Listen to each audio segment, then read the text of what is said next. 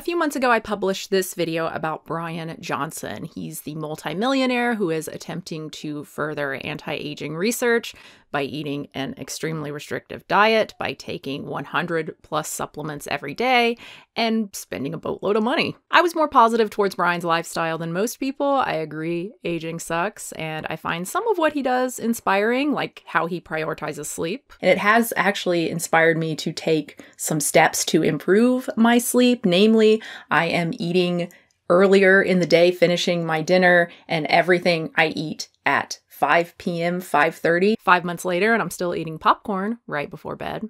So it's going great. But at the end of the day, this is not research. Bryan is just one person. No matter how much he tracks, how transparent he is, how many doctors he works with, he's just one person. No matter his results, his results are his results. So fast forward to three days ago, and I get this email from Bryan, aka Blueprint, about his supplement line. It's launching this Thursday, April 4th, so probably today when this video is coming out. It's called the Blueprint Stack and consists of extra virgin olive oil, longevity mix, blueberry nut mix, nutty pudding, NAC plus ginger plus curcumin, red yeast rice plus odor free garlic, essential soft gel, and essential capsule. This is supposedly what he takes every single day. It works out to $361 total, $331 per month because the olive oil comes with two bottles. A bottle lasts a month. Yes, $30 olive oil. Shipping is free though, so there's that. So I would love to just say, hey, we don't need to do that. Like we can just stop here. We don't need to go through and look at all of these because no one's going to buy this. No one's going to spend this much money on olive oil and blueberries and a multi. But people will, of course. I mean, not you guys, probably, people watching this, because I'm willing to bet that Bryan's audience is largely male. My audience is largely not that. Regardless, I'm going to do what I always do with potentially scammy supplements. I'm going to go through each ingredient and see if the marketing claims match the evidence. Let's go right down the list. We start with extra virgin olive oil, sourced from Australia or Portugal. It's supposed to be very high quality, very high in polyphenols, and it can support healthy weight management, promote emotional well being, support health and longevity. It's not vague at all. He calls it snake oil as like a wink, wink, nudge, nudge because people call him a grifter, a snake oil salesman. Like, okay, it's funny, but you're also selling a 25 ounce bottle of olive oil for $30. That seems kind of insane to me. That said, it is not unheard of. The Consumer Lab top pick for extra virgin olive oil with high polyphenol content is $26.63 for 16.9 fluid ounces. So that is significantly more per ounce than the snake oil, although it does have significantly more polyphenols than snake oil. As Consumer Lab notes, it's not clear if paying more for higher polyphenol content is even worth it. So, not a great start. Longevity Mix condenses over 20 capsules into a delicious sugar free drink. Yeah, monk fruit extract, delicious. The number of overly sweet monk fruit extract things, like, oh god, it's just disgusting. Vitamin C and magnesium, you can get plenty of this from food, but okay. 2.5 grams of creatine, which is a typical daily dose. And this may be particularly beneficial for vegans and vegetarians, at least in terms of muscle gain. Evidence for improvements in cognition is less convincing. Calcium alpha ketoglutarate, 2 grams, supposedly supports improved frailty index in mice.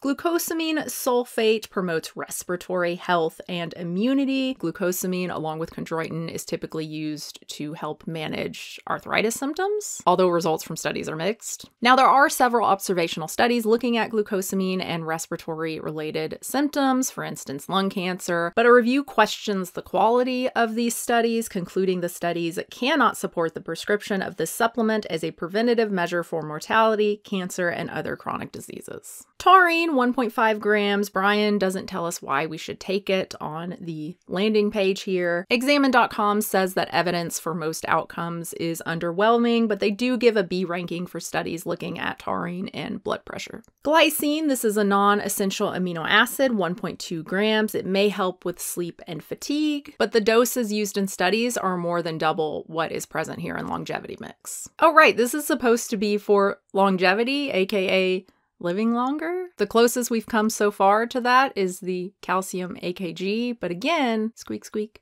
Lysine, 1.2 grams. While an essential amino acid, it does not hold much promise as a supplement beyond reducing the symptoms of herpes simplex. Bryan telling on himself with this one? Seriously though, he should already be getting a good deal of lysine from his diet. He eats a good amount of protein. He already takes protein powder. Ashwagandha root extract, 600 milligrams, as I talked about in my recent Abbey Sharp Neue Theory supplement review. There is decent evidence for ashwagandha as treatment for anxiety and stress, possibly sleep improvements as well, and 600 milligrams is a typical daily dose. That said, Consumer Lab recommends choosing a brand that lists the amount of withanolides per dose. Bryan, Blueprint, doesn't do that. Glutathione 250 milligrams, which Examine describes as an indirect and expensive way to provide dietary cysteine. And evidence for any benefit is underwhelming. Theanine 200 milligrams, another amino acid. There's some evidence for improvements in stress, anxiety, and sleep, and 200 milligrams is a common dose. Finally, we have hyaluronic acid 120 milligrams. Typically, this is used topically or injected intravenously, although there are several promising studies on oral use and skin hydration and wrinkles. So that's longevity mix. We have a powder with potentially small to modest benefits and a nebulous relationship to longevity. $39 a month. Blueberry nut mix. Now, I do love that it's called blueberry nut mix and not like antioxidant superfood immunity complex or some shit, right? It's just blueberry nut mix, because that's what it is. Freeze dried blueberries, macadamia nuts, and walnuts. One serving is equivalent to half of a cup of blueberries. Okay, you know, like just eat real food, but someone could say that to me regarding my protein powder consumption. I eat protein powder almost every single day. Like, I don't know if this is how people want to get in their blueberries and omega 3s, whatever. Nutty pudding. This is the chalky stuff that he eats every day. It's basically a protein powder. It also has a whole lot of omega 3s from flax, 3 grams of ALA, which is a lot, sunflower lecithin for choline, Ceylon cinnamon, cocoa, so more polyphenols because I guess the blueberry mix and the olive oil just, just not, not enough. The price is the best part though $99 a month. NAC plus ginger plus curcumin. NAC N-acetylcysteine. This is the more efficient and cheaper alternative to glutathione. Bryan says it restores cysteine levels because cysteine deficiency is so common. Now, a lot of the lung benefits are based on its ability to loosen mucus when it is inhaled, so yeah, not really applicable here. There are studies on oral supplementation and specifically COPD patients with mostly disappointing results. Ginger extract for joint joint, liver, pancreatic, immune system, gastrointestinal health.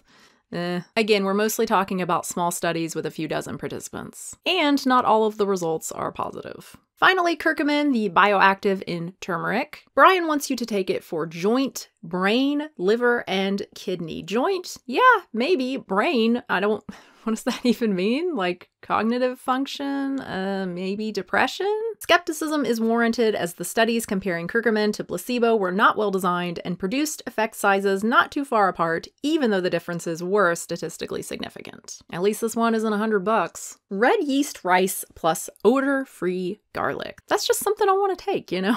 Sounds delicious. So both of these supposedly are for heart health. There is limited evidence red yeast rice can lower cholesterol levels, but this depends on the amount of lovastatin that it contains, and most brands don't tell you how much lovastatin is in their product, including Blueprint. There is evidence for garlic and lower cholesterol levels too, but at much higher doses than what's in Blueprint. Essential soft gel. We've got vitamin K. I mean, he eats so many vegetables. Like, whatever. Lutein and zeaxanthin, these are both carotenoids that may support retinal and arterial health. Several studies have found a relationship between both of these and cataract prevention, but any benefit is more likely to be apparent in subpopulations of individuals exposed to high oxidative stress, such as heavy smokers, alcoholics, or those with low dietary intake of carotenoid rich foods. Evidence on arterial health is mostly limited to animal studies. Lycopene for skin and arterial health, we do have a a couple small studies, like this one that suggested reduced sensitivity to UV light with lycopene consumption. Artery health results are conflicting. Astaxanthin has been studied for a bunch of different conditions, is pretty underwhelming. Vitamin K2, both MK4 and 7, often taken for bone health, even though the science is mixed. This recent meta analysis looking specifically at postmenopausal women found an effect, but the majority of the studies used combination therapy, right? So it was K2 and calcium, or K2 and D3. Finally, we have the Essential Capsule. This is $55 a month for a multi and a few extra things like nicotinamide riboside. This is gaining in popularity, although this review is very critical of current scientific literature. And it's got a probiotic of course. So as you can tell, I'm not super impressed by this supplement stack. I just hate supplement stack. I hate that so much. I don't know why. But I'm not super impressed and I'm even less impressed with the sciency nature of some of the marketing. So one thing you'll see on many of these is this clinical trial equivalent doses, which is mostly true. I will give him credit there, right? Most of the time when I'm looking at supplements, they are containing doses way less than what is actually used in the studies they're citing. Nine times out of 10, the blueprint products contain the amount they should contain based on the studies that have been done. But that does not mean this is evidence based. Again, many of these claims are based on just a few small studies. So just because one or two or three small studies used, let's say, 600 milligrams of ashwagandha and found a statistically significant reduction in anxiety symptoms doesn't mean that you need to take 600 milligrams of ashwagandha to help with your anxiety. They can't even tell us that ashwagandha actually helps with anxiety. That's not how science works. Another example is this line in the email I got announcing the launch of the Blueprint Stack, saying that it's built upon 1,000 plus clinical trials. Sounds great and sciency, except it tells us nothing about the quality of the trials. But my favorite has to be this, where he links to supposedly scientific research.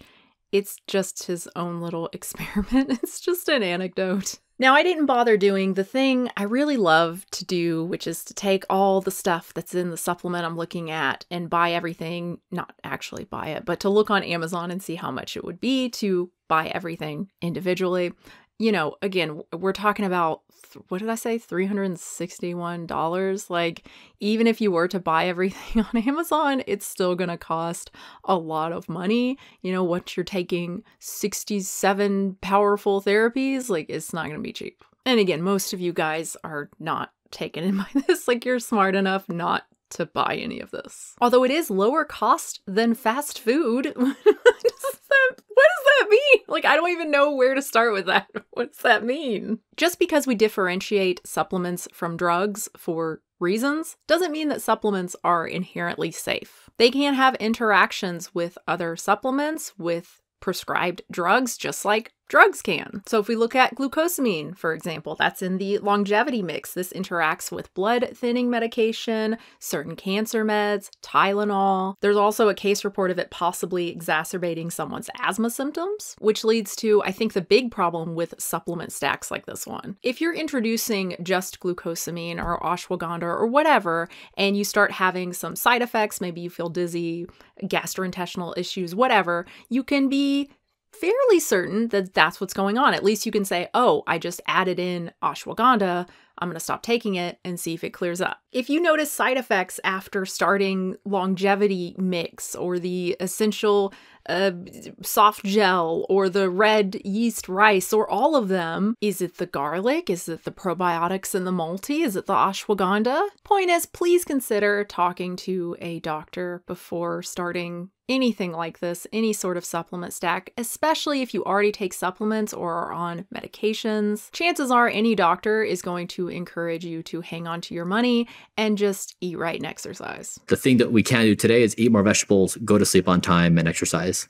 These are immediately in our control. And this is again what I'm trying to show. Yeah, this is really getting that message across, Bryan. Good job.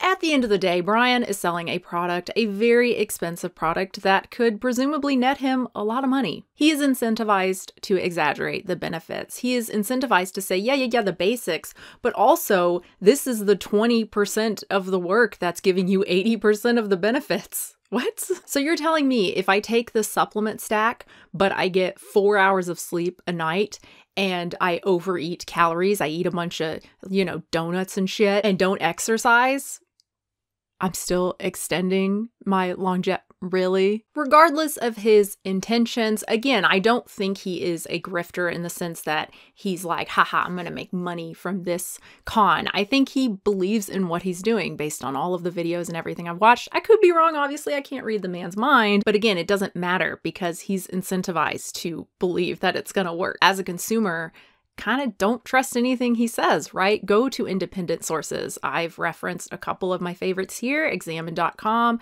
consumerlab.com. They are paid sources, they don't have advertising or anything like that. So, how they make money is with memberships.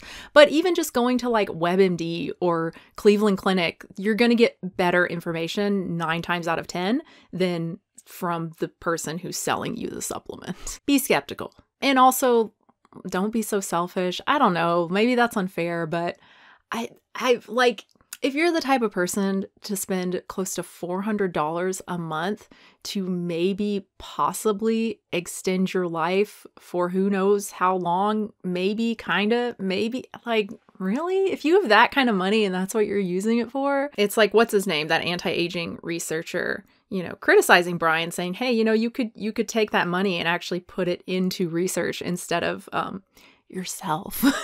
Like you're you're using it to enrich yourself. Let's be real that's what this is. But hey I'll happily put 60 to 70 dollars down on a new video game. Not only is it not helping other people but it's arguably bad for me. So you know who am I to criticize Thank you so much for watching, everybody. I hope you enjoyed this. I would love to know your thoughts about the blueprint stack down below. How much you want to bet that olive oil tastes like shit? That's really what I'm most curious about. I want to taste that olive oil. Oh, I bet it's nasty. I think he said it's smooth and peppery. Although I think like all olive oil is disgusting raw. Like I can only cook with it. Even when I make salad dressings, I just use canola oil because it has basically no taste. Anyway, please like the video and subscribe if I didn't already say that. And thank you so much to my patrons and my members. I do post two exclusive videos a month for tier two patrons and members. One is a vlog and one is a controversial. I just posted the controversial topic for March. And that's it for me. Thanks again, guys. New video soon.